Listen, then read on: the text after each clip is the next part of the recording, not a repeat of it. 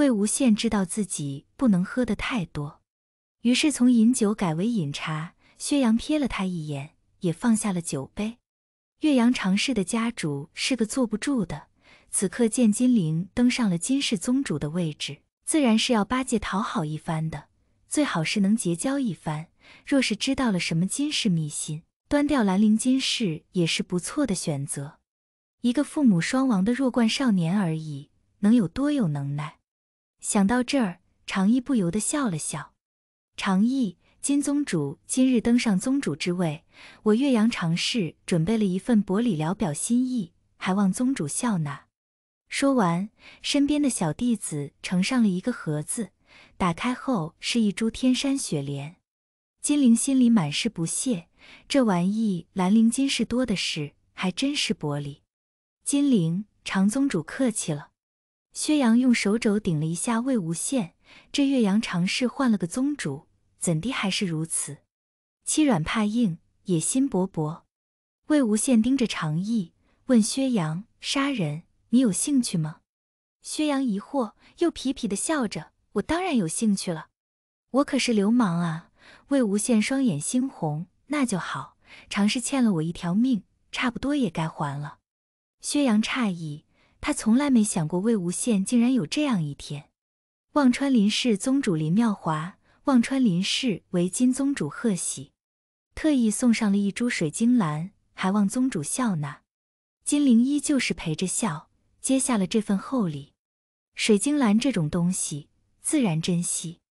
他也知道，对治疗可给有很好的疗效。聂怀桑笑笑：“金宗主，聂某给您贺喜了。我这人向来爱一些古文字画，今日给金宗主准备了一份薄礼，金宗主笑纳。”从盒子里拿出卷轴，卷轴有些发旧，展开竟是那王羲之的真迹，这东西就更为难得了。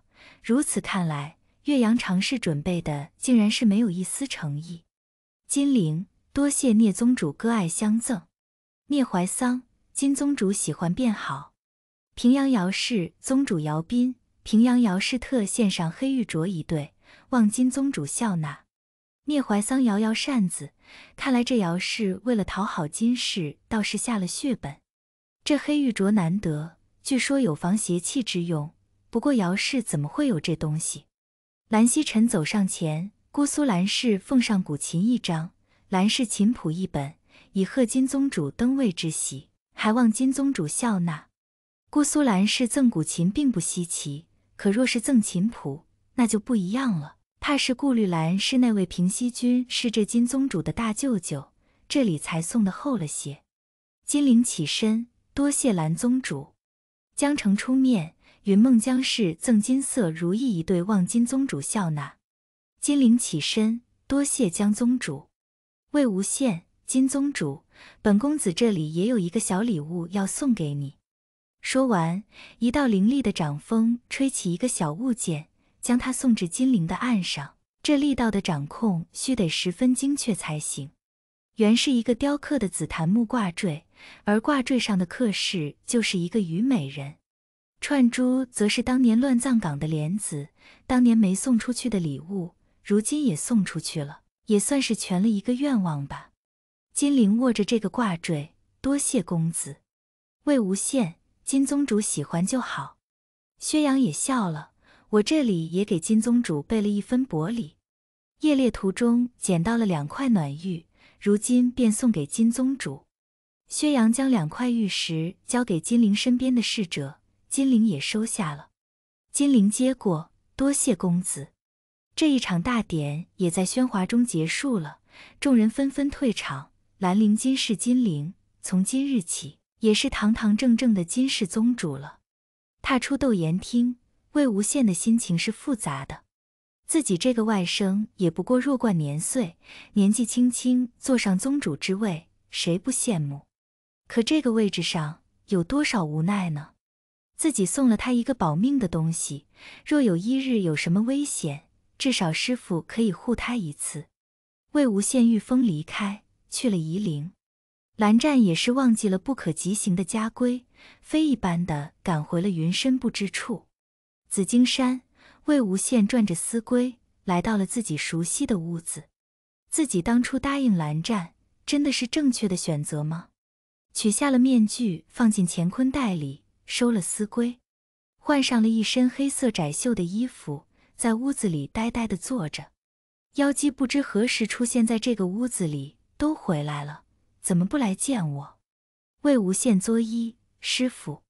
妖姬自然地找了一个位置坐下。后悔了吧？魏无羡，有什么可后悔的？我做事情从来无悔，我只是有些迷茫罢了。妖姬笑笑，在迷茫，你还配不配得上蓝家那个蓝忘机？魏无羡不说话，显然是默认了。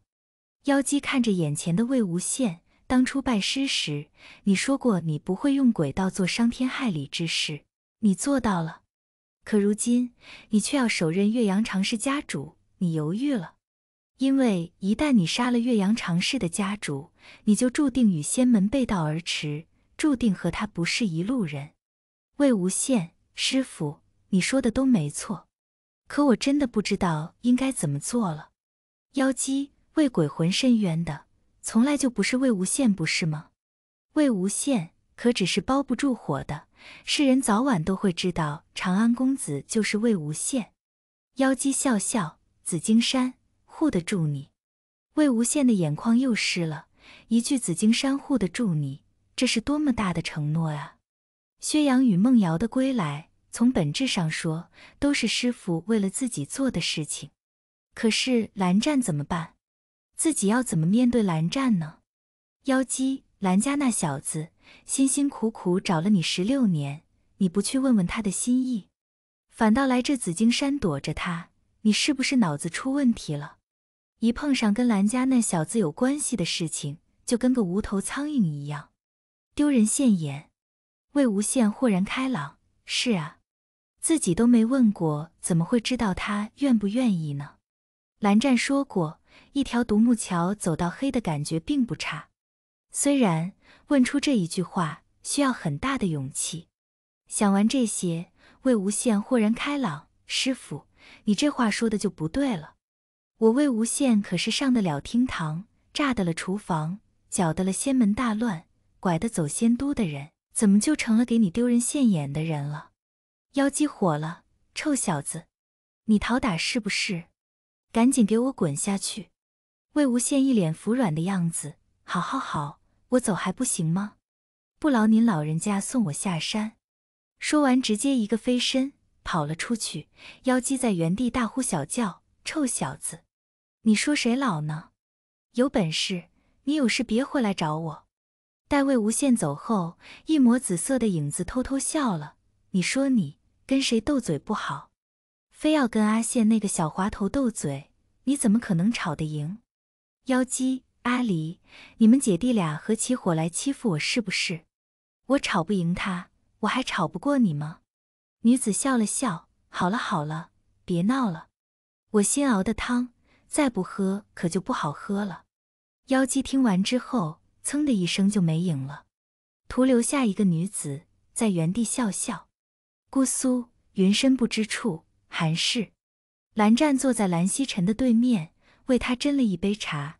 蓝湛突然跪下，兄长，恳请兄长去江氏提亲。三书六礼，八抬大轿，十里红妆迎魏婴回姑苏。蓝曦臣内心有些不解，今日的忘机怎么这般着急？忘机，发生什么了？蓝湛，求兄长应允。蓝曦臣看着自己这弟弟，心下有了一番猜测。蓝曦臣，忘机，你先回去吧。此事容我与叔父商讨具体细节，再去与江宗主议亲。蓝湛作揖，忘机告退。蓝曦臣、景明，你去山门口等一下无限，待他回来就将他带来见我。蓝景明作揖，是。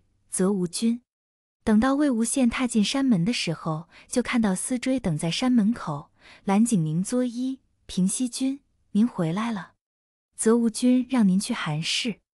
魏无羡用手指着自己，我。蓝景宁点点头。平西君快去吧，泽无君等着您呢。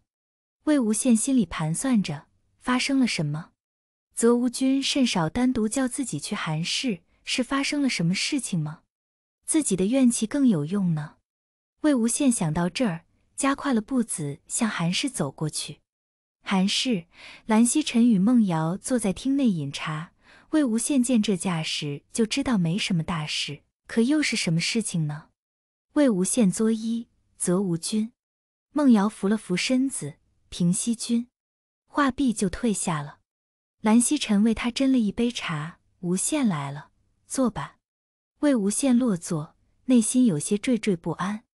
蓝曦臣端起茶杯，无羡，你和忘机之间发生了什么事情吗？魏无羡被问的也是莫名其妙，摇摇头，没有啊，我和蓝湛挺好的呀。怎么了？发生什么了吗？蓝曦臣，忘机来找我，让我去云梦提亲，而且看样子还是挺着急的。我问他为什么，他也不肯说，这才寻你过来问问清楚。魏无羡回想了一下，觉得也没有什么让蓝湛有这样反应的事情。蓝曦臣见他这样，便知道可能是自己那弟弟胡思乱想了，便提醒道：“无羡，忘机他看起来冷冰冰的，心思还是细腻的。这次来找我，让我与云梦提亲，可能是什么事情让他觉得心里不安。这件事情我不好插手，你回去问问清楚。”魏无羡是，则无君。蓝启仁喝了口茶，去吧。魏无羡。无限告退，回到静室，蓝湛坐在岸上抚着望线，一遍又一遍。第三遍的时候，魏无羡终究是忍不住了，一把拍在蓝湛的忘机琴上。蓝湛，你有什么事？你倒是跟我说啊！你在这儿一遍一遍的弹琴，算怎么回事啊？你告诉我，你到底怎么了？蓝湛只是定定的看着他。你说自己不是蓝氏的人。魏无羡坐下看着他，若我恶贯满盈，今后注定与仙门世家背道而驰。你可还会说出求亲的话？蓝湛，我会，无所谓正邪，无所谓仙门世家，只因你是魏婴。魏无羡平静地看着蓝湛，岳阳长世上一任宗主是我杀的。蓝湛看着他，无事。魏无羡，平阳姚氏二公子。莫灵苏氏大公子，颍川王氏三小姐都是我杀的。蓝湛、魏婴，我接任仙都，不过是为了护住一个你罢了。若我有一日护不得你，我陪你下黄泉。这次你不可以推开我了。魏无羡眼睛红了，鼻子也酸了，声音也抖了。蓝湛，蓝湛，如今三书六礼，八抬大轿，十里红妆，你可愿与我偕老？魏无羡点点头。有何不愿呢？这些日子他怕着、忧虑着，无时无刻不担心。如今得知真相，他怎么会犹豫？魏无羡一转身坐在他身上，用手指绕着飘长的抹额。我家蓝二哥哥真好看。蓝湛耳根又红了，别闹。魏无羡，二哥哥可是害羞了。蓝湛嗔怒，魏婴。魏无羡坐在他身上大笑。静室里又恢复了欢声笑语。